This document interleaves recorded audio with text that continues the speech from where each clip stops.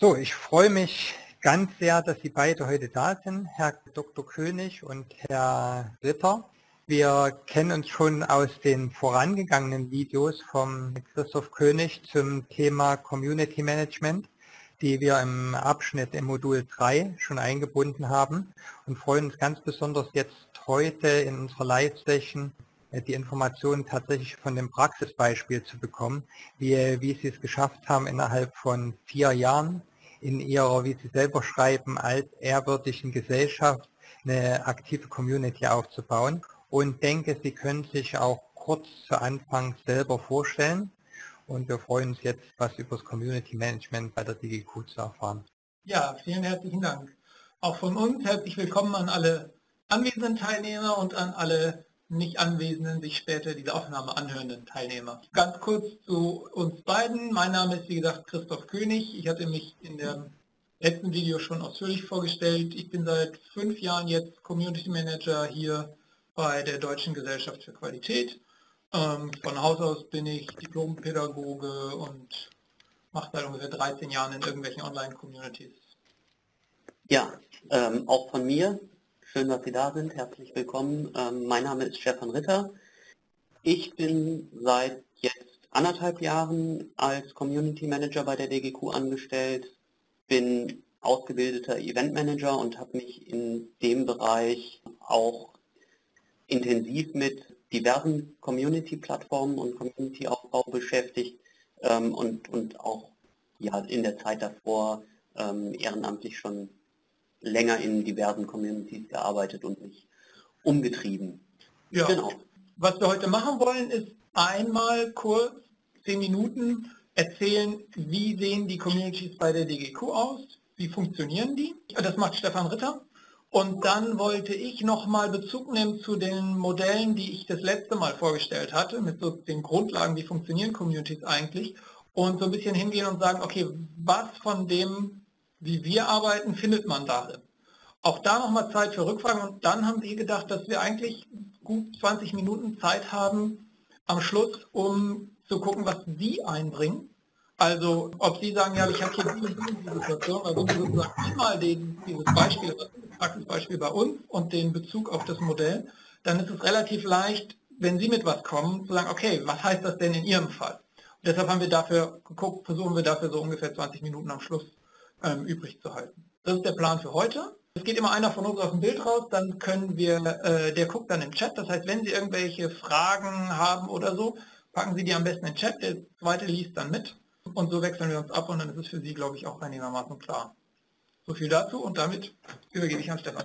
Ja, genau, dann würde ich sagen, fangen wir direkt an. Wir haben eine kleine ähm, Präsentation vorbereitet, die sollten Sie jetzt auf dem Bildschirm haben. Den oberen Teil können Sie getrost ignorieren. Das ist interner Kram, mit dem wir uns ähm, im Moment beschäftigen. Ähm, das, wo es uns heute darum geht, ist insbesondere der untere Teil. Hm, die DGQ ist, wie der Kollege König äh, in der Ankündigung geschrieben hatte, ein altehrwürdiger Verein. Das heißt, ähm, der existiert seit über 60 Jahren mittlerweile und dort sind lange Strukturen im Ehrenamt, aber auch im Hauptamt gewachsen.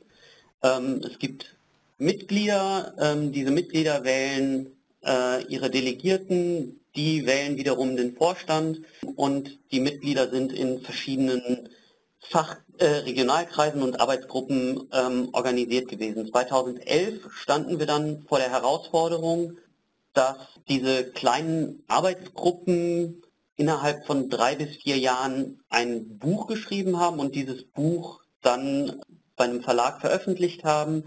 Es hat sich aber in der Zeit oder in den Jahren davor deutlich rauskristallisiert, dass diese Bücher kaum Absatz hatten, weil es einfach so war, dass die aufgrund dieser drei bis vier Jahre, die, die geschrieben wurden, teilweise einfach nicht mehr einen aktuellen Inhalt hatten, dass der Inhalt für die Zielgruppen weniger relevant war und dazu konnte man aus unseren 6000 Mitgliedern nur einen ganz kleinen Teil über diese Arbeitsgruppen betreuen und äh, die haben einfach arbeitsmäßig nicht skaliert. Die Herausforderung war somit für uns formuliert, wie können wir unsere 6000 Mitglieder oder möglichst viele der 6000 Mitglieder aktiv einbinden und deren Wissen und, und Kompetenzen schnell und, und effizient für alle nutzbar machen, aber auch insbesondere auch für die Außenwelt. Und daraus ist dann die Idee entstanden, die Fachkreise zu gründen. Fachkreise sind relativ große, offene Communities. Bei uns haben die eine Größe von bis zu aktuell 150 Personen in etwa und arbeiten sehr eng angelehnt an agile Prinzipien, die wir aus dem Scrum abgeleitet haben. Für uns war es wichtig ähm, in der Entwicklung der Fachkreise, dass die Strukturen skalieren. Wir haben mittlerweile zehn aktive Fachkreise. Der elfte Fachkreis zum Thema Wissensmanagement befindet sich gerade in Gründung. Das erste Treffen von dem findet in knapp einem Monat statt. Die Fachkreise organisieren sich inhaltlich komplett selbst. Das heißt, der Fachkreis wählt in seinem ersten Treffen ein Leitungsteam. Dieses Leitungsteam ist dann verantwortlich für die inhaltliche Arbeit des Fachkreises. Der Fachkreis selbst gibt sich eine Zielhierarchie, das heißt am Anfang legt der Fachkreis eine Vision, Mission fest, wohin will er arbeiten. Daraufhin oder aus dieser Vision leiten sich dann verschiedene Themen ab, an denen gearbeitet wird. Das sind hier die Epics und das bricht sich wiederum runter in User Stories, die dann von den Fachkreismitgliedern relativ schnell bearbeitet werden können. Hm, die Fachkreis oder diese Stories bilden wir ab in einem Kanban-Board. Ähm, ganz wichtig bei den Stories ist, dass der Fokus darauf liegt, dass die userzentriert sind und dass die Stories sich relativ schnell abarbeiten lassen und dass sie ein geschlossene, ähm, abgeschlossenes Ergebnis haben. Die Verwaltung, wie gesagt, liegt, läuft dann über dieses Kanban-Board. Es gibt einige Stories, die eben bearbeitet werden, einige, die fertig sind und die dann eben auch veröffentlicht werden und manche, an denen eben noch nicht gearbeitet wird. Die Stories werden von einem Story-Team bearbeitet, das sich relativ einfach äh, und selbstständig zusammenfindet. Das heißt, es gibt eine Person, manchmal zwei oder drei, die sich dem Thema sehr nah fühlen und sagen, wir wollen dieses Thema vorantreiben oder diese Story. Und die arbeiten sehr intensiv daran und außerhalb dieses Story-Teams gibt es dann noch Interessierte, die ab und zu einen kleineren Beitrag leisten. Innerhalb eines Fachkreises gibt es dann natürlich mehrere Story-Teams, die eben an verschiedenen Inhalten arbeiten. Neben den Beitragenden und den sehr Aktiven ähm, gibt es noch das ein oder andere passive Mitglied in den Fachkreisen. Die sollen auch da sein, weil das Mitglieder sind in den Fachkreisen, die zum Teil einfach nur konsumieren, die mal ein Feedback geben oder vielleicht deren Themen noch nicht in Angriff genommen wurden. Wenn die Themen dann in Angriff genommen wurden, werden diese Passiven im besten Fall auch zu aktiven Teilnehmern. Wenn sie passiv bleiben, dann ist das für uns aber auch okay, weil es braucht einfach eine gewisse Masse in solchen Online-Communities. Wenn eine Story abgeschlossen ist, dann wird die über diverse Kanäle verteilt. Manchmal bündeln wir auch gewisse Ergebnisse zu einem Thema äh, und, und geben die dann über eine Kampagne raus. Da gibt es ganz viele unterschiedliche Varianten. Wichtig ist bei der Veröffentlichung haben wir verschiedene Kanäle, die wir nutzen, unter anderem beispielsweise einen Vortrag in unseren Regionalkreisen. Das sind Veranstaltungen, meistens Vortragsveranstaltungen, bei denen DGQ-Mitglieder und Nichtmitglieder teilnehmen können. Und die können dann natürlich sehr direktes Feedback an das Story-Team geben. Auch von den anderen Veröffentlichungen erhoffen wir uns oder wünschen wir uns immer wieder Feedback, um diese dann von den Story-Teams weiter bearbeiten zu lassen und, und optimieren zu lassen, dass wir sie dann irgendwann auch in die Welt rausgeben können. So viel jetzt erstmal zum, zum Einstieg, beziehungsweise als, als Überblick, wie die Arbeit in den Fachkreisen funktioniert und, und was wir tun. Der Kollege König hat schon ein paar Fragen gesammelt. Nee. Oder Fragen gibt keine, aber das nicht mal. Ja, natürlich. Gucken, ob da was kommt oder dass sich jemand meldet. Was ich sonst ein bisschen noch ergänzen kann, ist, wie wir da hingekommen sind. Und Stefan hat das erzählt, am Anfang waren diese Arbeitsgruppen, die hatten sehr klare Erwartungen, wie man mit ihnen umgeht und so. Mit denen war ein Change nicht zu machen. Das heißt, die hatten den Vorteil, dass sie die Projekte organisiert waren. Das heißt, man konnte die auslaufen lassen. Und wenn die ihr Buch publiziert hatten, dann waren die fertig und dann konnte man sagen, okay, das ist gut jetzt. Ähm, dann schließen wir die Arbeitsgruppe, sodass man dann mit anderen Leuten was Neues anfangen konnte. Und das, was Stefan erzählt hat, diese Arbeit, also zum Beispiel dieses Kanban-Board, das ist was, was wir tatsächlich physisch, wenn wir uns treffen, drucken wir die Zettel aus und hängen die an die Wand. Und wir haben so ein Online-Tool, wo wir die auch abbilden. Aber das Online-Tool, das wir haben, ist unglaublich rudimentär. Das ist damals vor fünf Jahren äh, angeschafft worden mit eigentlich viel weniger kollaborativen Anforderungen. Und wir haben trotzdem damit gemacht, weil das war halt das, was da ist. Das ist ein kleines Online-Community-Tool, in dem man bloggen kann, Rundmails verschicken kann, ein Forum hat, Dateien hochladen kann und es gibt so eine Mini-Task-Management-Tool. Es gibt keine Revisionierung, es gibt kein Ticketing-System und nichts. Aber das geht. Und die Mischung auch in diesem Verein ist die Mischung aus Online und Präsenz ganz hilfreich gewesen. Dass man sagt, okay, das, was halt online nicht geht, machen wir in den Präsenztreffen mit den Leuten. Wir haben ziemlich viel in den letzten Jahren so Design Thinking Elemente in die Moderation übernommen, sodass die Leute halt sagen, hey, so ein Treffen von einem Fachkreis ist richtig cool, das macht Spaß, da gehen wir hin. Und die Leute erleben halt, dass es einen Effekt hat, weil sie dieses Erfolgserlebnis haben, wir haben so ein kleines Ding und das haben wir abgeschlossen, weil sie merken, dass die Dinge auf ein größeres Ziel einzahlen und man irgendwie vorwärts kommt. Und weil immer, wenn wir was rausgeben und in diese Feedback-Schleife kommen, wo also wir die Leute diese Sachen an irgendwelche Gruppen geben, an andere Regionalkreise an Weiterbildungsangebote und so weiter und die Teilnehmer Feedback bekommen, hilft es denen zu sagen, okay, taugt das, was wir entwickeln, können die Leute was damit anfangen? Oder gibt es Bereiche, über die wir uns noch nicht auseinandergesetzt haben oder Probleme, mit denen wir uns noch nicht auseinandergesetzt haben und können das in ihre Arbeit aufnehmen, was einfach für die Leute unglaublich motivierend. So viel erstmal für, zu dem, wie wir das wie wir das aufgebaut haben. Dann mal so in die Runde, weil ich weiß nicht, ob Sie die Mikros freischalten können, Herr Liesch. Sie sind jetzt zu hören.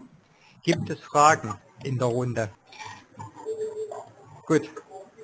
Dann habe ich vielleicht noch eine Frage. Diese User Stories, wie fließen die denn in diese Ergebnisse der Fachgruppe mit ein? Wie werden die verwendet? Eine User Story ist, also für die Leute, die Scrum nicht kennen, das ist so eine eigentlich eine Formulierung, eine Aufgabe, als der und der User möchte ich das und das erreichen, äh, das und das haben, um dieses oder jene Ziel oder Bedürfnis von mir zu erfüllen. Das ist so die Standardformulierung, wie man eine User Story formuliert. Das heißt, wenn wir mit der Gruppe arbeiten, geht es darum, könnt ihr euch darauf einigen, was wollt ihr für wen machen und warum braucht er das? Das heißt, da ist diese User-Zentrierung drin, das Stefan gemacht hat.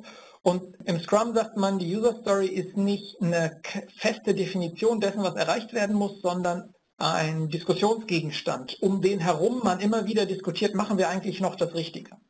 Ja? Das heißt, diese User Story leitet die Arbeit des Teams. Wenn wir dann ein Ergebnis fertig haben, ist es auch so, dass anhand der User Story, also das Team geht in, kommt wieder ins Plenum oder das machen die auch online manche und sagen, hey, das ist das Ergebnis, was wir haben. Dann gleichen die Leute das mit der User Story ab. Zu sagen, hey, ihr habt gesagt, ihr wollt für unbedarfte Qualitätsmanager eine Anleitung machen, das und das zu tun. Aber was ihr geschrieben habt, ein unbedarfter Qualitätsmanager kommt damit nicht klar. Also, mh, hm, ja, ihr habt nicht das gemacht, was wir für die Story brauchen. Oder ja, genau, ihr habt genau das, ihr habt zwar nicht das gemacht, was wir uns ursprünglich vorgestellt haben, aber wenn ich mir die Story vorstelle, denke ich mir, ja, genau, als unbedarfter Qualitätsmanager kann ich genau mit dieser Checkliste was anfangen, obwohl wir ursprünglich gesagt hatten, es soll eine Anleitung sein. So, das ist das eine. Also es ist sozusagen, es, es, steuert die Arbeit in dieser großen Community. Und das ist, das ist das, diese Stories und das Kanban-Board sind das Kernartefakt der Story. Damit organisieren die ihre Arbeit. Das heißt, wir als Moderatoren zwingen die immer dazu, hey, ihr wollt an was arbeiten, habt ihr schon eine User Story formuliert? Warten Sie erst mal, wir helfen euch. Ne? Aber andersrum hilft es, dass man einfach den Überblick hat, wer macht was. Und wir können dadurch sehr viel freilassen und die Leute können selbstständig eine Story formulieren, selbstständig dran arbeiten, solange sie sich an diese wenigen Eckpunkte im Prozess halten. Mhm. Und wenn das dann fertig ist und rausgeht, ist natürlich für Marketing so eine User Story Formulierung Gold wert. Also wenn die nicht einfach nur einen Text kriegen, sondern die sagen, hey, dieser Text ist für folgende Zielgruppe gemacht und er soll folgendes Bedürfnis erfüllen, dann wissen die ziemlich genau, was die damit anfangen können. Ja? Also das sind so die, die zwei Funktionen, die User Stories haben. Ich habe vielleicht da eine Frage, wie ist das mit den Fachkreisen insgesamt losgegangen? Die waren ja jetzt nicht plötzlich mit einmal da, sondern jetzt das bei, wir reden ja über diesen Aufbau dieser Communities in einer alten ehrwürdigen Gesellschaft, über diesen Prozess würde ich gerne noch etwas wissen. Hm? Wir haben am Anfang ein ganz offenes Mandat von der Geschäftsführung bekommen, macht es anders, macht das irgendwie dynamischer und experimentier mal. Das heißt, wir haben bestimmt drei Jahre außerhalb von Richtlinien gearbeitet, was für einen Verein, der 60 Jahre alt ist, auch schon, also das geht, aber dafür das muss man erlaubt bekommen. Und haben dann im Nachhinein, als diese Struktur, die wir jetzt beschrieben haben, funktioniert hat, gesagt, so jetzt fassen wir das mal in eine Richtlinie. Und dann ist die Richtlinie über den normalen Weg gegangen an den Vorstand und vom, vom Vorstand freigeben und so. Und wir haben ganz viel experimentiert mit dem. Ähm, was funktioniert, was nicht funktioniert.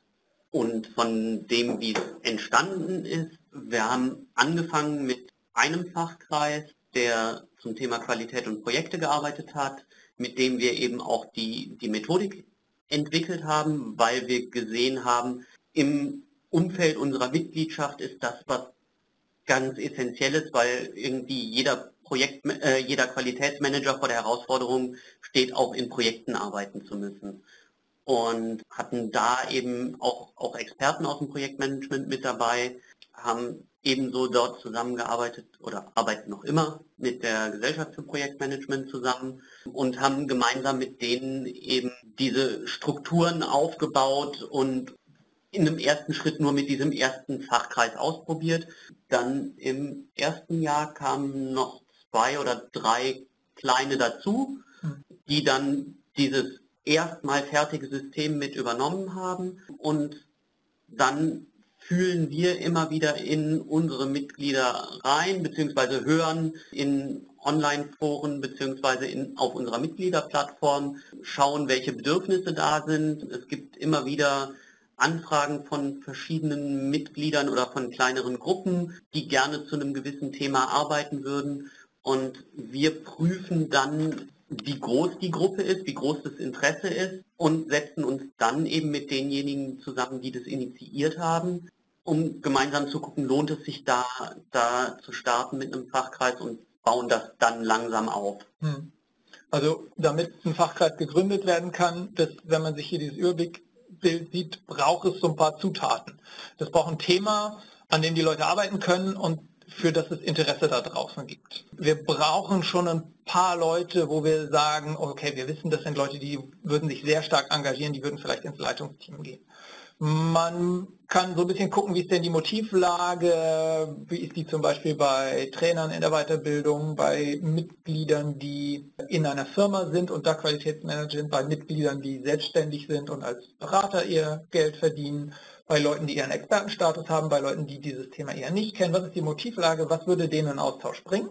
Wie viele Leute erreichen wir, wenn wir so Marketing fragen, so Leute, die irgendwie mit dem Thema interessiert sind, wie viele Leute erreichen wir eigentlich? Also kriegen wir das kriegen wir da genügend zusammen. Ne? Und wenn man das hat, dann kann man das ausprobieren. Ein weiterer wichtiger Punkt ist natürlich für uns auch gerade jetzt aktuell zu, zu schauen, wo wir eine relativ große Masse an Fachkreisen schon haben.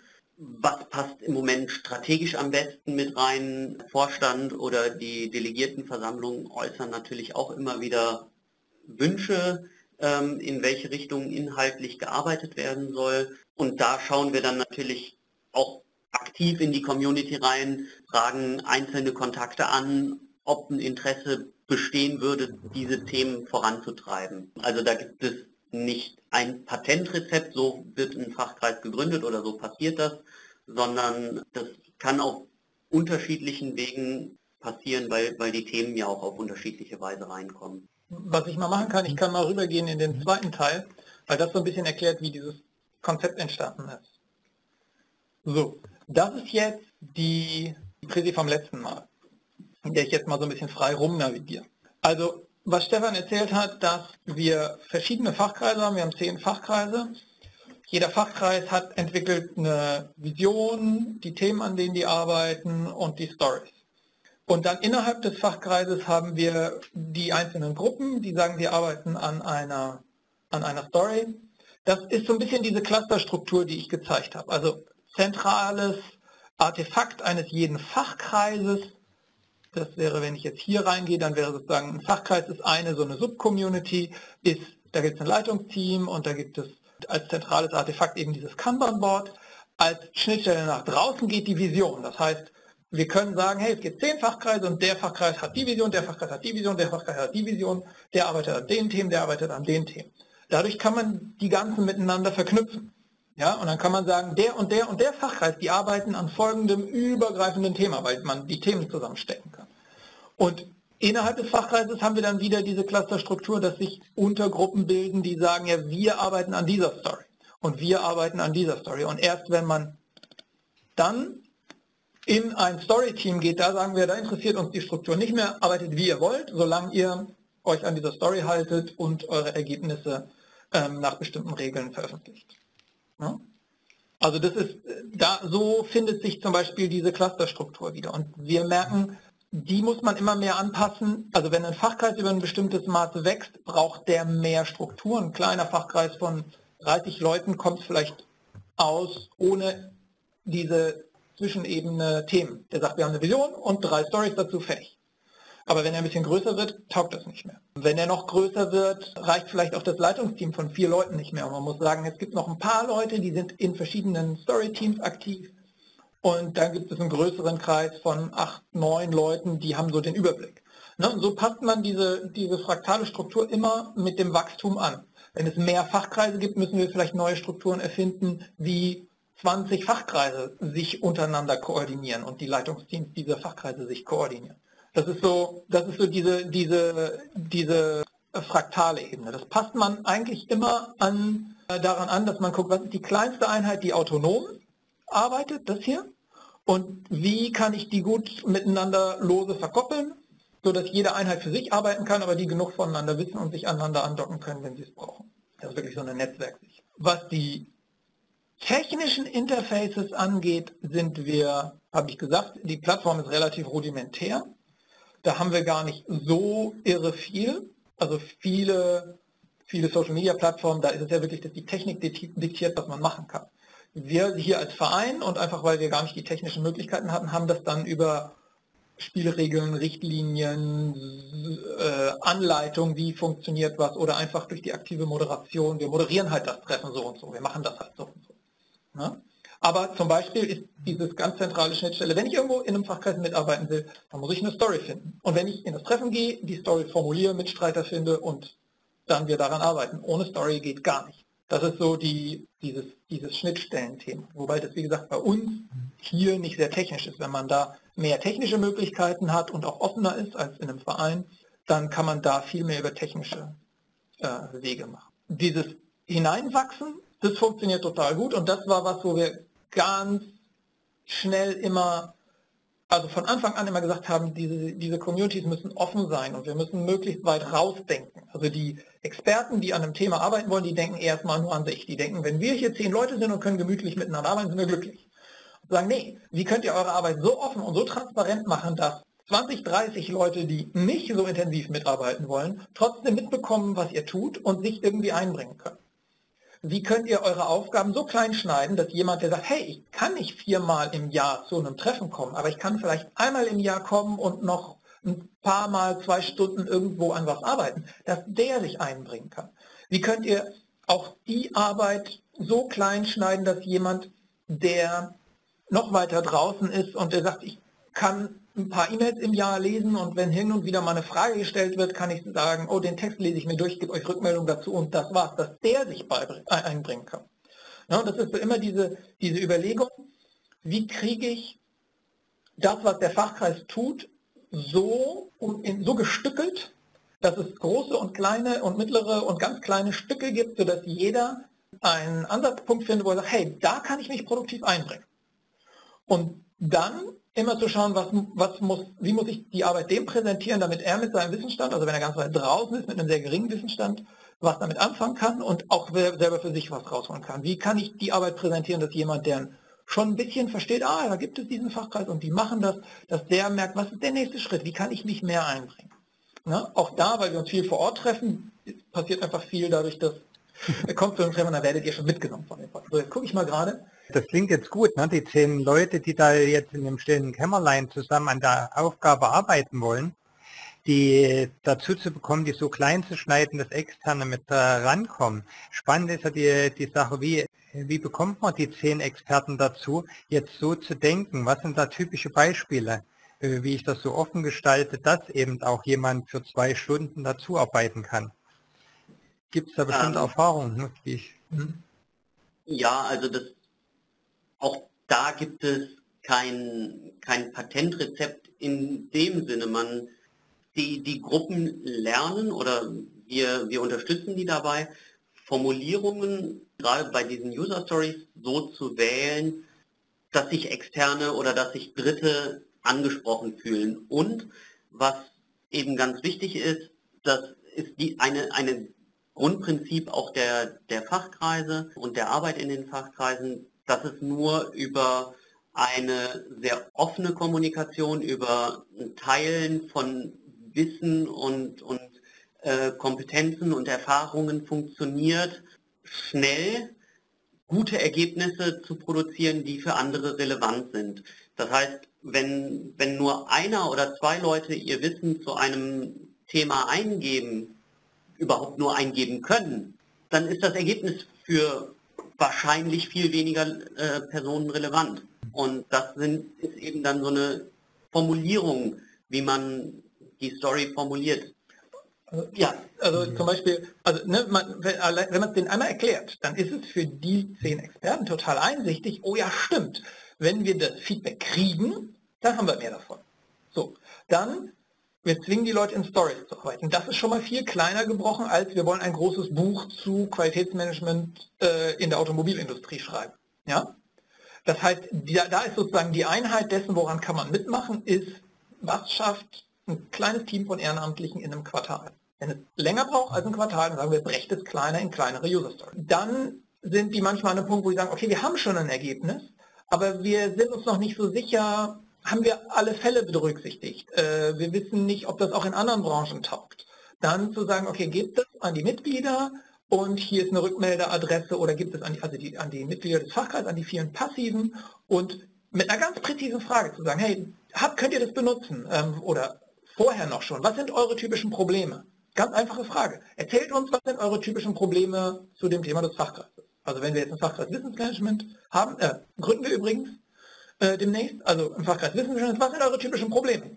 So, da kann man sich hinsetzen und eine Mail runterschreiben und die hinschicken, an eine Adresse, die da angegeben ist. Dann sammeln Sie die und sagen, guck mal, das sind die typischen Probleme. Jetzt machen wir eine Umfrage. Welche, an welchen sollen wir als erstes arbeiten? Oder, ne? So, wer hat Interesse an dem und dem Thema was zu machen? Okay, wir haben eine Anleitung geschrieben, woran erkenne ich denn überhaupt, dass dieses Problem ist und was sind mögliche Lösungsmöglichkeiten? Hey, wo waren die Leute, die gesagt hatten, sie haben das Problem? Könnt ihr was damit anfangen? Könnt ihr was damit anfangen? Ist eine ganz kleine Frage. Ja, also indem wir die anleiten, in solche zyklischen Verbesserungen und in Dialoge zu gehen, entstehen eigentlich diese kleinen Schnittstellen ganz von allein. Und das, was Christoph König jetzt gerade so ein bisschen im, im Subtext mitgesagt hat, dass wir immer ganz aktiv die, die, die User ansprechen, also direkt in Dialog treten und direktes Feedback, direkte Interaktion einfordern. Funktioniert eben zum einen viel über, über Online-Maßnahmen, das heißt, wir schreiben Mails an gewisse Verteiler, die wir rauskristallisieren können. Wir schreiben manchmal auch gießkannenmäßig an einen ganz großen Verteiler, wo wir eine Rückfrage bekommen oder wo dann sich auch Experten finden, die zu einem Thema was sagen wollen. Da die DGQ auch jetzt nicht so eine unfassbar große Mitgliedschaft hat, kennen wir viele der Mitglieder eben auch relativ gut und können einzelne Experten rauskristallisieren, die zu einem Thema was sagen können und die kennen natürlich auch zu ihrem Fachgebiet Kollegen, die ähnlich fit sind oder die vielleicht nochmal einen kleinen anderen Schwerpunkt haben. Und diese Experten ähm, schnürt man dann einfach zusammen. Ich Frage damit soweit beantwortet? Nein, äh, es ging jetzt äh, gerade zum Ende zu auf die auf die Frage mit ein, weil für mich war dieser Ablauf noch ein bisschen unklar. Wie kriege ich die Leute außen eingebunden? Wie mhm. erfahren mhm. die überhaupt davon, dass es dort jetzt eine Story gibt, wo ich was beitragen kann? Wie erfahre ich von dieser Frage? Dass, äh, Sie haben das jetzt ein bisschen erwähnt mit diesem, zum Beispiel die E-Mails mhm. raussuchen, äh, weil mhm. Sie ja gesagt haben, Sie haben eine ganz rudimentäre Technik. Habe ich jetzt überlegt, wie kommunizieren jetzt diese Leute, diese 150 Leute aus dem Fachkreis miteinander? Nur auf den vier Treffen? Oder wie erfolgt dort dieser Informationswissensaustausch, die Kommunikation in dem Fall? Okay, also mhm. ganz so rudimentär ist die Plattform auch nicht. Es gibt eben, also es ist, wir haben eine, eine Mitgliederplattform, auf der die Arbeit der, der Fachkreise stattfindet. Und jeder Fachkreis hat da seinen eigenen Bereich und wir kommunizieren über die Website der DGQ, welche Fachkreise es gibt und da kann man sich dann eben einschreiben in den Fachkreis.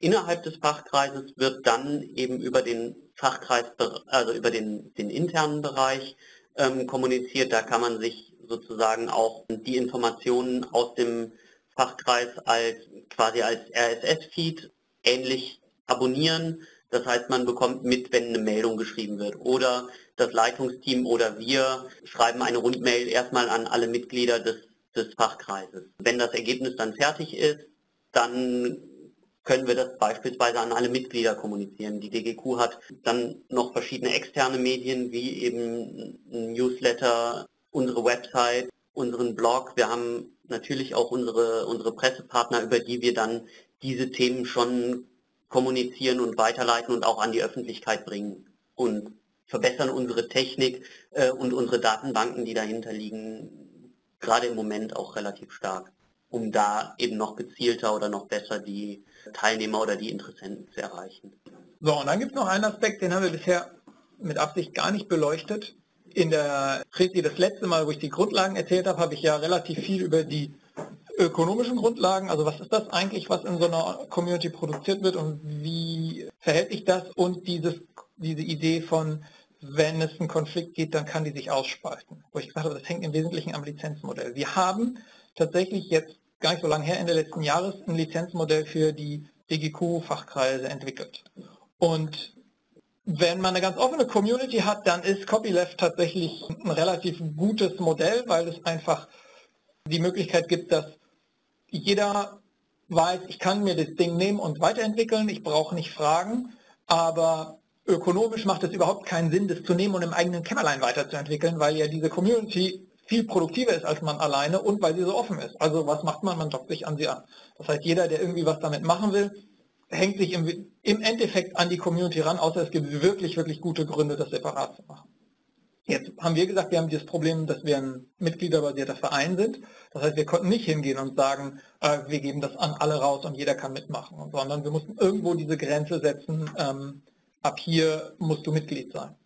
Und haben tatsächlich äh, haben einen Experten gefunden, der sich sehr mit diesen Creative Commons Lizenzen gut auskennt, ein Jurist, und haben mit dem zusammen ein Lizenzmodell entwickelt, das nach ganz ähnlichen Prinzipien wie Creative Commons sagt, okay, wenn du im Fachkreis bist, kannst du im Fachkreis alle Inhalte, die du da findest, benutzen und weiterentwickeln, aber es braucht einen Beschluss des Fachkreisplenums, wenn wir die Inhalte aus dem Fachkreis rausgeben. Wenn du Mitglied bist, kannst du alle Inhalte, die die Fachkreise eben rausgegeben haben, benutzen, weiterentwickeln und so weiter. Das heißt, wir haben auf der Ebene auch dieses Recht zu forken, ein Derivat zu machen. Also ein Mitglied kann etwas nehmen und weiterentwickeln auf eine andere Art und Weise, als es der Fachkreis tut. Aber du darfst es halt nur nutzen, solange du Mitglied bist. Und wenn du nicht mehr Mitglied bist, dann hast du das Recht, dieses zu nutzen, eben nicht mehr. Und dann gibt es Inhalte, wo wir sagen, so, die sollen jetzt raus an die Welt. Und dann nehmen wir einfach diese Creative Commons Attribution No Derivatives, also du musst sagen, von wem es kommt und du darfst es nicht verändern, Lizenz, und hauen das raus in die Welt.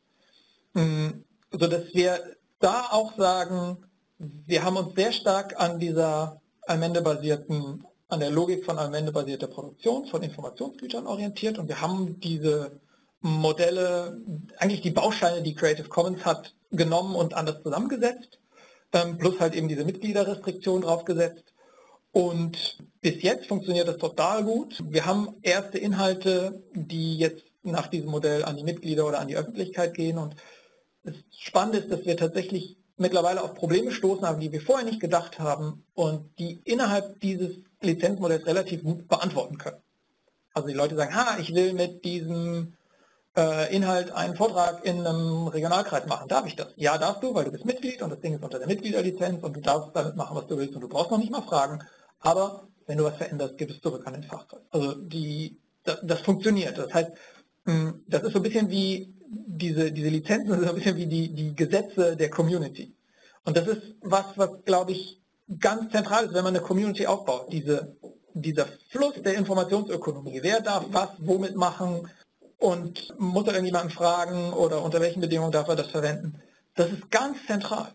Das festzulegen, also wir hatten halt den Vorteil, dass wir über den Verein und über diese Vorgabe, okay, ein paar Jahre dürft ihr ohne, ohne Richtlinie arbeiten, hatten wir erstmal Zeit zu experimentieren, das ist okay. Ähm, man muss dann halt nachträglich die ganzen Rechte einholen.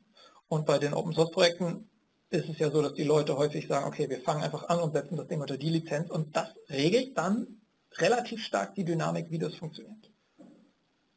Diese ganzen Open Source und Creative Commons Lizenzen sind ja auch nicht widerrufbar. Also wenn man einmal was unter so eine Lizenz gestellt hat, dann ist das unter der Lizenz. Und wenn jemand anders das geholt hat, dann hat er diese Rechte, die damit gegeben werden und die sind nicht widerrufbar. Insofern muss man sich das gut überlegen, wie man das macht. Und es ist gut, dass wir lange gewartet haben, bis wir sicher waren, okay, das ist ein Modell, das funktioniert. Und das zeigt vielleicht auch, wie, groß, wie weit wir gegangen sind, die Kontrolle freizugeben. Dass wir gesagt haben, hey, wenn das Ding einmal ein Mitgliederergebnis ist, dann ist eben dieses Derivate bilden möglich. Also ein Mitglied kann das nehmen und zu einem anderen Zweck, auch kommerziell, auch selber Geld damit verdienen, verwenden, solange es nur eben weiter unter der Lizenz vertragt. Äh, ich habe noch eine Frage an die Gruppe. Gibt es noch weitere Fragen aus der Gruppe heraus? Ich hätte jetzt noch eine zu den äh, typischen Aufgaben, die Sie jetzt als äh, auch den Aufgabenumfang, die Sie jetzt als Community Manager so leisten müssen. Wie viel Zeit nimmt das in Anspruch? Was sind so die typischen Aufgaben, Herausforderungen, Tätigkeiten? Also wir haben es für uns so gelöst, dass wir erstmal sehr rollenbasiert arbeiten. Das heißt, wir haben für uns drei Rollen entwickelt, die die unterschiedliche Dimensionen der Arbeit beinhalten. Das ist zum einen ähm, die Rolle des Lotsen, das ist derjenige, der die, die Fachkreise oder ja die, die Communities steuert, der denen eine gewisse Richtung gibt. Wir sehen unsere Fachkreise als so eine Art Ozeandampfer, der aus einem Hafen rausfahren muss und wenn er auf hoher See ist, dann hat der erstmal Fahrt und ist auch nicht so leicht zu bremsen. Aber an der einen oder anderen Stelle ähm, braucht er eventuell nochmal eine kleine Hilfe, um in den Hafen zu steuern oder durch einen Kanal zu fahren oder sowas. Und das ist die Aufgabe des Lotsen, ähm, dort dem Fachkreis eben so die Richtung nochmal zu geben. Ansonsten arbeiten die eben sehr, sehr frei, zumindest was die Inhalte angeht. Bei diesen Lotsenaufgaben ähm, arbeiten wir beide in dem Fall komplett redundant. Das heißt, wir bilden alles, was wir tun, auf einem Online-Tool ab, wo wir jede Frage jederzeit äh, beide beantworten können. Lotsenarbeit heißt für uns auch ganz aktiv die Fachkreise, wenn die sich treffen zu moderieren. Zu moderieren heißt aber in dem Fall wirklich nur den Prozess zu steuern und nicht oder möglichst nicht in die Inhalte zu gehen, weil gerade mittlerweile auch bei der Masse der, der Fachkreise, die es gibt, schafft man das gar nicht mehr in jeden inhaltlich so tief einzutauchen. Die zweite Rolle, die wir uns gegeben haben oder die wir für uns festgelegt haben, ähm, ist die des Architekten oder des Ingenieurs, der sozusagen die Wege oder die, die Leitplanken für die Arbeit der Fachkreise kreiert. Ja, die und, Infrastruktur baut. Genau. Das heißt, einerseits die, die Online-Plattform ähm, mitentwickelt, die, die rechtlichen Strukturen mitentwickelt, die Treffen optimiert, die Strukturen innerhalb der Fachkreise ähm, optimiert, die Kommunikationsstrukturen, die zwischen, also in, im Fachkreis sind, die mit dem Fachkreis und uns als Community Management bestehen, die mit dem Fachkreis ähm, und anderen Mitgliedern der DGQ bestehen und so weiter und so fort. Und die dritte Rolle... Also ganz konkret, wir haben ähm, wir haben, hatten eine Phase, da haben wir ganz viel Anleitung geschrieben, weil die, die, die Fachkreisleiter wurden immer autonomer, aber die waren so am Schwimmen.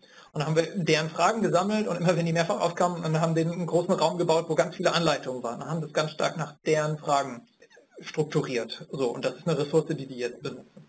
Dann sind wir im Moment in der Phase, wo diese, die Fachkreise relativ viel Sachen produzieren und die wir Prozesse entwickeln zwischen Fachkreis und Marketing und da abstimmen und, und, und da Strukturen bauen und dann eben auch äh, sagen, okay, so und so könnt ihr das machen, so, wenn ihr einen Blog schreibt, dann brauchen wir das und das von euch, äh, solche Dinge. Ähm, und es gab Zeiten, wo äh, einfach auch allein schon dieses reingehen und sagen, nee, ihr müsst aber nach User Stories arbeiten, einfach die, äh, äh, ja, oder wo wir diese Art zu arbeiten mit denen entwickelt haben, ne, was auch ja eine, eine, eine geistige Infrastruktur ist. Oder eben die Phase, wo wir die Lizenz geschrieben haben. Das ist auch eine rechtliche Infrastruktur. Ja, genau. Ähm, und die, die dritte Rolle ist dann die des Scout. Das ist sozusagen dann derjenige, der ähm, schaut, wo könnte die Arbeit der Fachkreise noch Auswirkungen haben. Ähm, das ist jetzt bei uns als Beispiel ähm, die Weiterbildungsprodukte, die wir anbieten, ähm, die ganz anders aufgestellt sind, die ganz anders funktionieren und, und entwickelt werden. Aber die Arbeit unserer Experten in den Fachkreisen ähm, ist mittlerweile so groß geworden, dass es einen Einfluss auf das gibt, was in der Weiterbildung passiert und, und dass ein Einfluss auf die Produkte passiert. Und da dann gemeinsam mit den Kollegen ähm, Wege auszuloten, die Arbeit oder die Ergebnisse der Fachkreise dort einzubinden oder Ergebnisse aus den Fachkreisen für unsere eigene Arbeit zu nutzen oder ähm, neue Wege ähm, zu, zu kreieren, wie Fachkreise sich präsentieren können in der Öffentlichkeit, wie die, ähm, dass die selber eine Art von Produkten entwickeln und, und diese gemeinsam mit denen zu entwickeln. Also wirklich Neuland zu betreten und, und zu überlegen, in welche Richtung könnte es denn vielleicht gehen von der Entwicklung her. Mhm. Ähm, das, das ist so die, die Aufgabe des Scout und ich glaube, diese drei Rollen spiegeln ganz gut das wider, was, was wir täglich tun und wie wir uns eben auch aufteilen. Jeder hat so seine, seinen Schwerpunkt, sage ich mal, aber wir, wir teilen uns das eigentlich ganz gut auf merken aber, dass die Arbeit täglich auch wächst und wir immer wieder, sobald gerade der Scout ähm, ein neues Fleckchen entdeckt hat, äh, das schnell relativ groß wird, dieses Fleckchen. Ja. Also das ist, das ist, Scout ist ganz wichtig, weil, also wenn die Community wächst, ne? äh, wenn die wächst, also man muss die betreuen, das heißt als Lotse muss so ein Moderator sein. Ähm, ähm, wenn die Community nur online ist, muss man ein guter Online-Moderator sein. Ähm, in unserem Fall ist es halt beides. Dann heißt das, man muss ein guter Präsenzmoderator und ein guter Online-Moderator sein. Damit ist das erstmal abgehakt. Dann kriegt man, kann man die Leute begleiten.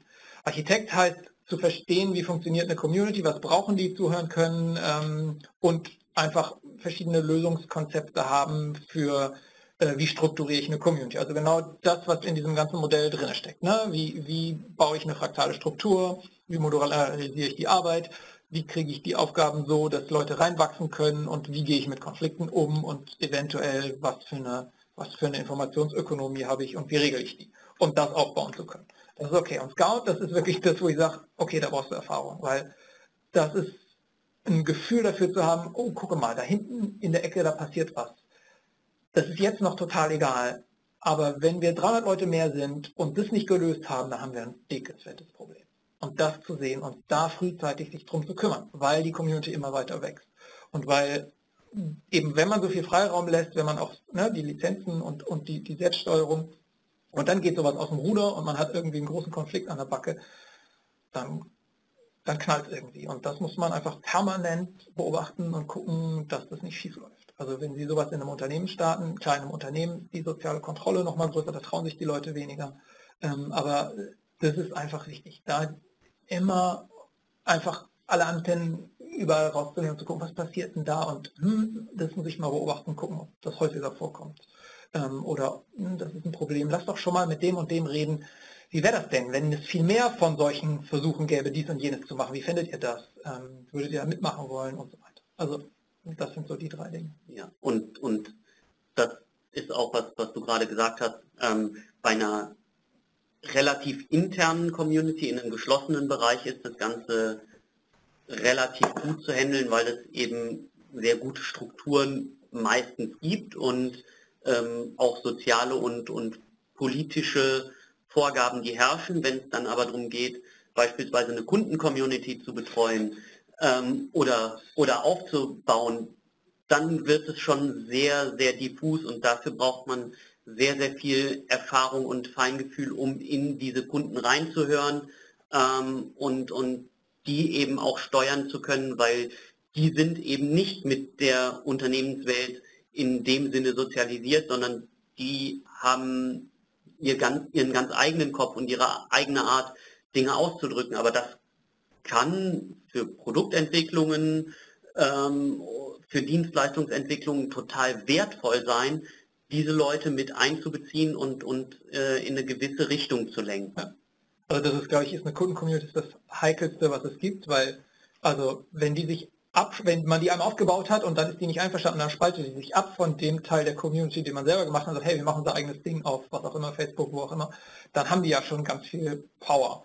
Und, äh, und aber das Unternehmen hängt dran, weil das sind deine Kunden. Wohingegen eine reine Open Source Community ohne kommerzielles Interesse, die haben relativ gute Selbstheilungsmechanismen und wenn es da knallt und die sich aufteilen und so, und dann hat man das auch erlebt, dass die nach zwei Jahren wieder alle zusammenkommen und so. Das ist das kann man, da kann man ganz viel Konflikt tolerieren und laufen lassen. Ähm, bei einer Kundencommunity ist es ganz heikel. Bei einer internen Community, wo wie gesagt eine Organisation ist, wo die soziale Kontrolle und der soziale Druck, sich ordentlich zu verhalten, sehr hoch ist, passieren so Dinge einfach nicht. Das ist immer so die ganze Spannbreite. Oder aber sie schwelen relativ okay, lange okay, unten drunter und dann, dann knallt es wirklich. Dann also das, das ist so bei, bei, bei einer unternehmensinternen Community, wenn man in so einer agilen Form arbeitet, auch eine Gefahr, die einfach besteht. Ähm, und da merken wir, dass eine, ein, ein sehr offenes und transparentes Vorleben ähm, ganz, ganz hilfreich ist. Das ja. ist ein, ein, ja, für uns eine Philosophie, der wir nachgehen, wirklich ganz offen, ganz klar zu sagen, das ist und das ist nicht und das können wir und das können wir aber auch nicht. Hm. Ähm, da wirklich sehr das, was wir von, von, von den Mitgliedern der Community erwarten, eben entsprechend vorzuleben. Ähm, das ist da das, was aus unserer Erfahrung am besten funktioniert und, und ähm, was man eben auch, wenn man sich mit, mit Kollegen äh, in Communities austauscht, was die meisten Experten dort auch sagen. Ja und wo die DGQ auch einfach als Verein echt cool ist und ähm, solche, äh, ja, wenn, wenn dann in den Fachkreisen andere Meinungen entstehen und man sagt, hm, das war eigentlich nicht so das, was wir bisher vertreten haben, dann man eben nicht versucht, das abzuwirken, sondern sagt, okay, da scheint Substanz hinter zu sein. Und ähm, das ist, äh, ja, wenn man da eine Organisation hat, die, die da die Kontrolle nicht aufgeben will, dann muss man sich überlegen, wie viel Öffnung man man zulässt. Jetzt gucke ich gerade mal da rein. Ja, ich äh, würde eventuell den Herrn Hule fragen oder freigeben, ob er das selber ja, mal gerne. formulieren möchte, die Frage. Ich, Herr Hule, ja, sehe, hm, genau. Das ist äh, besonders spannend, halt eben offen, Transparenz und auch Fehlerkultur. Ja, sind, sind da Themen, die, die Voraussetzungen sind. Vorsichtig, das können wir jetzt als Satz formulieren, aber wie, wie das ist ja eine Kultur. Ja, wie mhm. kriegt man das, wie kriegt man das, äh, äh, ähm, ja, wie soll ich sagen, wie kriegt man das infiltriert, wie kriegt man das äh, hinein, wenn es das bisher nicht gab? Also, ein Rezept kann ich Ihnen nicht geben, aber ich kann Ihnen ganz konkret erzählen, wie wir es in der DGQ gemacht haben. Die hatte in den, in den 80ern gab es tatsächlich ein, ein Begriff, der auch noch lange umhergeschwirrt ist, das ist die Lehrmeinung der DGQ. Genau. Also die, die DGQ hat äh, Position entwickelt mit Experten und das herausgetragen und ist dazu gestanden, das war Roms, ja, das ist die Lehrmeinung der DGQ. Und wenn man angefangen hat mit aktiven Leuten zu reden, hat man gemerkt, hm, das, das ist problematisch. So, und jetzt das Glück zu haben und eben auch zu merken in Vorgesprächen, okay, das ist problematisch, aber man ist auch bereit zu überlegen, wie geht das denn vielleicht anders. Ja? Ähm, dann zu sagen, okay, dann können wir es zulassen. Ne, wenn man sagen würde, nee, wir bestehen darauf, dann hätte man, dann hätten wir dieses ganze Experiment nicht gewagt. Und, und dann es, sind es so, so, so immer wieder kleine äh, Wagnisse. Zu sagen, ah, wir müssen erst die Begriffe definieren. Sagen, hey, vielleicht lass uns doch mal probieren, loszulegen, ohne die Begriffe zu definieren und gleichzeitig mal die Leute zu fragen, wie heißt es denn bei euch da draußen im Feld? Und mal gucken, ob wir mit den Begriffen arbeiten können, weil wir haben ja die Story formuliert als hm, Qualitätsmanager, der in einem Unternehmen arbeitet. Ne? Und dann können wir ja hingehen und sagen, so, jetzt müssen wir diese Begriffe mal strukturieren, sonst können wir nicht arbeiten, aber wir haben als Basis das, was die Leute da draußen erlebt haben. Und dann ist es so, wenn die Leute merken, das funktioniert, das bringt Ergebnisse. Das ist ja auch das, also wenn Sie, wenn Sie an so einem Punkt wo Sie in einem Unternehmen was an der Fehlerkultur arbeiten wollen, ja, das kriegen Sie ja nur geändert, wenn die Leute erleben, hey, wenn ich diesen Fehler offenlege, kriege ich keinen auf den Deckel und wir tun tatsächlich was dagegen und meine Arbeit macht nachher mehr Spaß. Das, Sie haben eine ganz kurze äh, Spanne, wo die Leute bereit sind, das zu wagen. Und das hat viel mit ihrer bestehenden Kultur zu tun. Und wenn die schlecht ist, können Sie mit einem großen Rumpf, wir machen das jetzt anders und Leute, ich verspreche euch, man, kriegt man dieses Fenster hin und dann äh, ist es, äh, halten sich daran halten sich an ihre Versprechen. Und das ist an, an der Stelle ganz, ganz viel Arbeit bei den ersten Fachkreisen gewesen, wirklich die da sehr eng zu begleiten und, und zu unterstützen und damit die erleben, hey, das bringt was. Mittlerweile ist es ein Selbstläufer. Mittlerweile gucken die einfach links und rechts und sagen, boah, wie geil, die haben den Workshop gemacht, oh, und ich war letztens da und da und habe einen Vortrag von denen und denen gehört. Wir wollen das auch. Ja? Mittlerweile ist es wir wollen auch so effektiv arbeiten wie die anderen. Und dann sagen wir, okay, wir erklären euch, wie es geht. Aber bei den allerersten waren das ganz, ganz kleine Schritte. Und es ist dieses wahrhaftig sein, ja. Also, und, und dann, wenn die sagen, hey, das hat aber nicht funktioniert, sagen, okay, haben wir verstanden, hat nicht funktioniert. Lass uns zusammensetzen, lass uns gucken, warum es nicht funktioniert hat und wie wir es anders machen. Es gibt Aspekte von Fachkreisarbeit, die haben wir über Bord geschmissen. Also als Stefan dazugekommen ist, ist eigentlich ein komplett anderes Konzept entstanden, wie wir Fachkreise gründen. Ne? So, aber am Anfang war ich da ganz und, und ganz vorsichtig. Ganz vorsichtig, ganz, also auch in der Kommunikation nach draußen, eigentlich immer erst schauen, dass die, also die, die Community von innen wachsen lassen. Nicht rausgehen mit, hey, hier gibt es einen ganz tollen Fachkreis und der produziert demnächst ganz viele White Paper. Nee, nee, nee. Erstmal sagen, ey, gibt es irgendjemand, der Interesse hat? Reicht. Ne? Und wenn die dann ihr erstes White Paper haben, dann können wir das mal veröffentlichen. Aber wir sagen noch nicht, wir produzieren ganz viele. Ne, also eher, eher zaghaft mit, dem, mit der Werbung sein und das Ding von innen wachsen lassen. Ne, weil da entsteht die Kultur bei den Leuten, die zusammen was machen.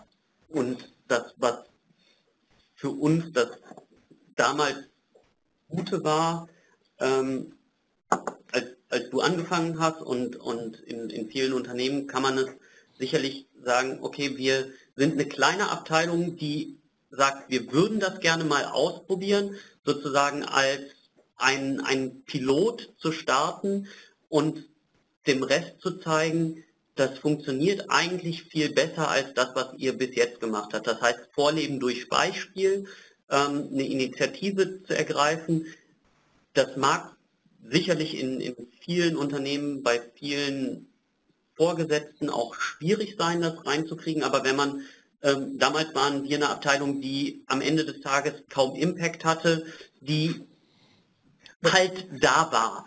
So und und und ähm, dadurch haben, hatten wir das Glück, im Endeffekt keinen Fehler oder nicht, ja. nicht noch schlimmer machen zu können. Ja. Ähm, und, und dadurch eben Freiheiten hatten, Dinge einfach auszuprobieren. Ähm, in einem bestehenden Unternehmen mag es vielleicht eine kleine Abteilung sein oder in großen Konzernen, die gründen halt zum Beispiel Startups aus oder kleine äh, ähm, Teams oder Bereiche, die sagen, ihr habt jetzt vielleicht ein gewisses Budget und eine gewisse Narrenfreiheit, probiert euch dort einfach mal aus. Mhm. Ähm, Wenn es klappt, ist es super, dann ist das ein Beispiel, was vorgelebt wird. Wenn nicht, ähm, dann muss man es halt einstampfen und dann war es halt so. Mhm. Aber dieses Vorleben durch Beispiel und äh, in kleinen Umfeld eben das mal zu starten, ist da, denke ich, eine Möglichkeit, äh, das erfolgreich umzusetzen. Mhm. Und dazu immer dieses Scouting, zu sagen, okay, wo könnte ich in, also wo entstehen Berührungspunkte zu dem Bestehenden? Wo könnten da Probleme auftauchen? Ganz, ganz früh hingehen, wer wären da meine Stakeholder und dann mit denen reden und zuhören und zuhören und zuhören und Fragen stellen und deren Sorgen und Ängste verstehen und vielleicht auch in die Community reintragen. Ja? Also es war so eine Phase, wo ich sagte, hey, okay, aber ähm, ne, wie, wie, passen, wie, wie nehmen wir das auf? Ne, wie gehen wir damit um, dass wir die zu unseren Partnern machen und nicht zu unseren Feinden, weil, weil die sich vielleicht an der und der Stelle bedroht fühlen. Wenn man im Inneren wahrhaftig lebt, kann man das zumindest da ganz offen diskutieren. Ja, wenn, man, wenn man das übersieht und da irgendwelche Ängste übersieht und dann wächst das und wächst das und kriegt immer mehr Impact, dann hat man plötzlich eine Mauer aufgebaut und fragt sich, wo kommt die plötzlich her? Ja? Beantwortet das okay. ein bisschen Ihre Frage oder? Ja, das, das, das sind genau die, das sind genau die Lebensseiten, die man halt eben entdeckt, ja, ja, ja. Und, indem man sich auch stellt. Und äh, gab es gab es äh, bei Ihnen äh, Punkte, wo Sie sagen, da haben wir jetzt das Thema Offenheit, Transparenz und Fehlertoleranz nochmal besonders hervorgehoben, sodass äh, ich sag mal, Bedenkenträger in der Lage waren zu sagen, naja, jetzt mache ich mal doch mit, weil äh, die haben ja recht ja, äh, dass man das noch fördern kann, weil das ist ja das Problem in Unternehmen, dass wir äh, äh, oftmals gute Leute haben, die aber nicht mitarbeiten. Ja, die immer sagen, lass die mal machen, das sind ja alles junge Leute, die, die, die, die lassen mal machen. Ja, aber wie kriegt man die an Bord? Ja, dass man halt eben die, wo man genau weiß, den brauche ich eigentlich auch dabei. Wie kriege ich den überzeugt, ohne ihn jetzt zu überzeugen, zu sagen, äh, du musst das ja, sondern dass er selbst erkennt, sie machen es anders. Sie machen es, wie soll ich sagen, ich will nicht sagen besser, sondern sie machen es anders und sie kriegen eine hohe, höhere Agilität. Und das ist ja genau die Anforderung, die wir ja gerade heute haben. Unsere Entwicklungszyklen ändern sich ja dramatisch. Ja, und wie kriegen, ja. wie kriegen wir das hin? Also ich glaube, der Hauptmotor an der Stelle ist die Produktivität. Hm, hm. Ähm, wenn Sie sowas haben und es funktioniert, ist es produktiv. Und wenn Sie in irgendeinem Zusammenhang sind, wo es darum geht, Geld zu machen oder produktiv zu sein, dann ist es schwer für die anderen, das zu ignorieren. Interessiert uns nicht, wenn sie das anbieten.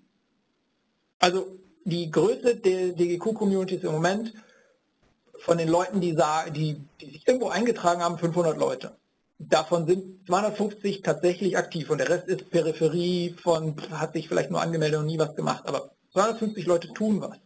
Wir haben mal geschätzt und das hat, die haben wahrscheinlich im Moment, das sind alles Ehrenamtliche, jeder macht so ein bisschen was, eine Manpower von sieben Vollzeitstellen. Das ist schon was.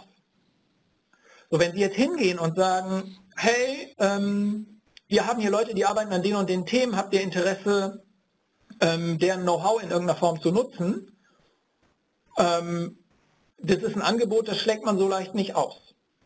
Ne? Das ist das eine. Wenn man denn gute Andockpunkte bringt und das andere ist wirklich diese, also wenn es um das Modell geht, diese Wirksamkeit zu erleben. Also wir hatten jetzt zum Beispiel den Fall, dass ähm, wir halt Normungsvertreter in Normungsgremien haben und die arbeiten ja ganz anders aber die jetzt an den Punkt gekommen sind und sagen, ey, diese Wirksamkeit, die wollen wir auch. Könntet ihr uns nicht helfen, eine Community aufzubauen von Leuten, die nicht so weit sind, dass sie sagen, ja, ich gehe in das Normungsgremium und mache da mit, aber auch nicht so desinteressiert sind, dass sie sagen, ich will erst, wenn das Ding fertig ist, Bescheid wissen, sondern irgendwo dazwischen. Sagen, ja klar, können wir aufbauen. Und dann merken die Schritt für Schritt, inwieweit sie sich auf diese Offenheit äh, einlassen müssen und merken, hey, das bringt uns was weil wir plötzlich in einem Normungsgremium in der Sitzung sitzen und es gibt ein, ein, Problem und wir sagen, hey, wir fragen unsere Community und beim nächsten Treffen haben wir eine Antwort. Und dann kam eine Antwort und sagen, wir haben hier äh, 70 Experten befragt und die sagen so und so. Boah, da hast du ein Argument. Ja, da müssen die anderen erstmal gegen anstinken. Und das, was, was eben Leute überzeugt, ähm, da sich, sich, sich mit zu engagieren, äh, ist aus unserem aus unserer Erfahrung einfach der, der Mehrwert für sich selbst. Weil jeder sich durch diese offene Kommunikation und durch diese Fehlertoleranz ganz anders weiterentwickeln kann, weil man sich nicht mehr in so einen Kokon zurückzieht und Angst haben muss, sondern viel mehr Mut entwickelt und, und auch mal neue Dinge ausprobiert. Ähm, und und man, man sieht in seiner Arbeit einen anderen Mehrwert und, und bekommt einen anderen Spaß, weil man keine Angst mehr haben muss davor, oh, wenn ich jetzt irgendwas mache, kriege ich sofort auf den Deckel, sondern ähm, zu sagen, Fehler ist passiert, da lerne ich draus und werde hinterher besser. Also so ein, so so ein Wert ähm, auch, auch zu bekommen und dadurch ähm, durch diese, diese Art zu arbeiten Spaß dran zu bekommen, zu, äh, ähm, sich weiterzuentwickeln und diese Offenheit zu haben und dann zu merken, Mensch, darüber werde ich ja noch produktiver, noch besser und, und entwickle mich selber. Also dass eben auch Bedenkenträger da einfach mal mit ranzuholen und, und ähm, ja, äh, äh mitzunehmen, mit an die Hand zu nehmen. Ja. Ich hatte in dem, in dem, in dem, äh, in diesem theoretischen Video hatte ich hier bei diesem Hineinwachsen von dem Konzept von äh, Legitimate Peripheral Participation von Leif und Wenger. Ich glaube, der Link ist in dem, ist unten drunter erzählt.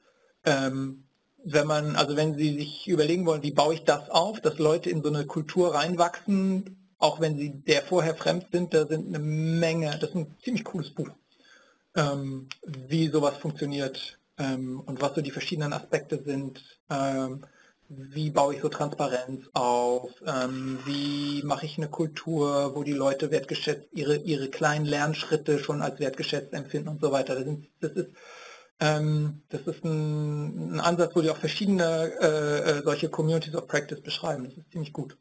Also wenn Sie Lust haben, sich in die Richtung weiter, zu, äh, weiter in die Tiefe zu gehen, das ist ganz gut. Ist das noch eine Meldung hier? Also ich habe jetzt erstmal keine neue Meldung entdeckt. Okay. In, äh, in dem Chat. Ich wollte fragen, hat noch, hat noch jemand eine Frage? Wir sind jetzt, wenn ich auf die Zeit gucke, schon genau. etwas überplan. Deswegen, ja. äh, wenn es jetzt noch eine letzte Frage gibt, würde ich die gerne noch weitergeben. Ansonsten würde ich noch meine Abschlussfrage stellen, die ich jetzt häufig zu Video-Interviews mache. Es gibt ja immer so die eigenen Ziele, die eigenen Herausforderungen für die nächsten zwei Jahre. Was sind denn ihr von Ihnen beiden so die großen Herausforderungen, die Sie jetzt in den nächsten zwei Jahren noch lösen wollen, was Sie als die Hauptziele sehen? Für die nächsten zwei Jahre ist es wirklich ähm, wie groß kriegen wir diese Community, wie sehr kann die sich selber betreuen, also weil wir nicht äh, immer sagen, wir brauchen noch einen neuen Community Manager, wir brauchen noch einen neuen Community Manager, also das wächst, dass das nicht linear wächst, ja. Das heißt, dass wir ganz viel selbsttragende Strukturen aufbauen müssen, das ist die Herausforderung drinnen. Und der Bedarf nach Wachstum ist da. Und dann ist es eben ganz stark dieses, ähm, wenn die ich sag mal, die Produktivität der Community rüberschwappt in andere Bereiche, die eher linear, äh, unternehmensbasiert, eigentumsbasiert, hierarchisch organisiert sind. Ähm, weil die sagen, ja, das taugt. Wie kriegen wir da die Schnittstelle hin und was, also das ist eine organisationsentwicklerische Aufgabe gleichermaßen in der Community, zu sagen, hey, da muss die Community sich anpassen an bestimmte unternehmerische Strukturen, als auch in dem Unternehmen zu sagen, hey, vielleicht lohnt es sich an der und der Stelle äh, uns zu öffnen und selber vernetzter zu arbeiten. Und ich glaube, das ist die ganz, ganz große Herausforderung. Ähm, das kann dazu führen, dass ganz große Teile des Vereins als vernetzte Organisation arbeiten, wovon manche professionell und manche ehrenamtlich sind, oder dass die Community ganz viele direktiv gesteuerte Prozesselemente aufnimmt ähm, und sagt, ja, aber wir sind dann effizienter, wenn wir uns daran halten, auch wenn, das, wenn wir die von irgendwelchen äh, hauptamtlich angestellten Mitarbeitern diktiert bekommen. Und da die Balance zu finden, da mögliche Konflikte rechtzeitig zu erkennen und so, ich glaube, das ist die größte Herausforderung. Ja. Ja, also eben auch diesen, diesen Wert der, der Arbeit die passiert, noch stärker einer in, in unsere hauptamtliche Organisation zu bringen und eben dann noch ein Stück kommunikativer, öffentlich öffentlichkeitswirksamer aufzutreten, ähm, dockt da ja ganz, ganz äh, eng dran an und das sind ja jetzt, das ist so eher kurz- bis mittelfristig ähm, und das, was, was du gesagt hast, ja, wirklich das langfristige, ähm, ja. man die anderen beiden Punkte natürlich nicht vernachlässigt. Ja. Gut. Also ich schalte jetzt nochmal alle Mikrofone frei. Also ich bedanke mich ganz, ganz herzlich dafür, dass Sie heute Zeit hatten und fand es auch sehr spannend und hochinteressant, was sich da im Bereich Community bei der DGQ selber tut. Das war für mich auch ein Einblick da rein, wie viel dort eigentlich lebt. Und ich bedanke mich wirklich vielmals, dass Sie beide Zeit hatten. Und jetzt sind die Mikrofone auch der anderen Teilnehmer noch offen. Ja, ganz herzlichen Dank. Äh, hat Spaß gemacht. Ja, äh, toll, dass wir die Möglichkeit bekommen haben, das äh, auch, auch mal so darzustellen, was, was wir hier tun.